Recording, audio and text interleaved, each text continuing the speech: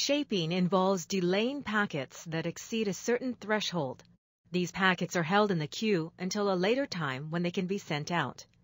This has the effect of smoothing out bursts, but unlike policers, shaping will attempt to not drop packets in the process. If there is congestion or a large amount of traffic, however, the queues may overflow, causing dropped packets. Policing involves checking the flow rate of packets for a particular classification of flows to determine if it conforms to the specified rate settings. For example, a packet flow for a certain source could be set to not exceed 50 kilobits per second. The policer will check to see if there is excess traffic and if excess traffic exists, it can drop the packets in order to conform to that specified rate.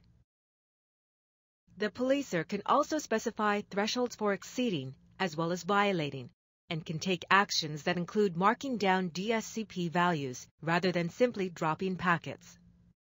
Markdown involves changing the DSCP value in the IP packet based on flow conditions, which changes the priority of the packets as they traverse the network.